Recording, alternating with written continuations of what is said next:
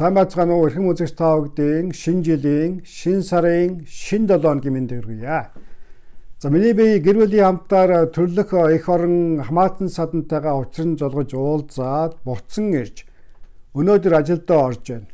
За урт удаан аян замын туршид болон Монгол улсад байх хугацаанд үргэлж хамт байж аян замын ерөөл харилж байсан нийт үзэгч та бүхэндээ маш их баярлж байна. За намайг Аркин эцэн улсаас гадна байх энэхүү хугацаанд маш олон сонирхолтой үйл явдал болж өрнсөн.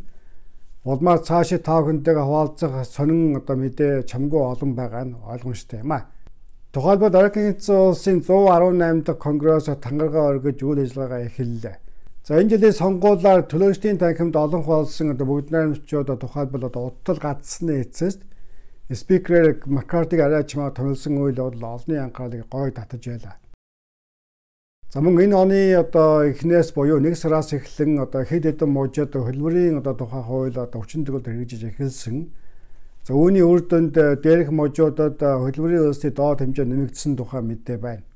За түүнчлэн цаашлын албанаас бас хэд хэдэн одоо шинжилсэн журам зарлсан. Тухайлбал цаашлын албанаас зарим төрлийн одоо өргөдлийн хураамжид өөрчлөлт оруулахын зэрэгцээгээр за public charge журамд томоохон өөрчлөлт оруулсан зэрэг мэдээ байгаамаа.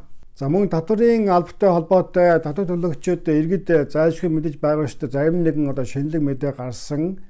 За эдгээрийн цаашдаа дэлгэрүүлэн тааг нь мэдээсэй байх юм аа.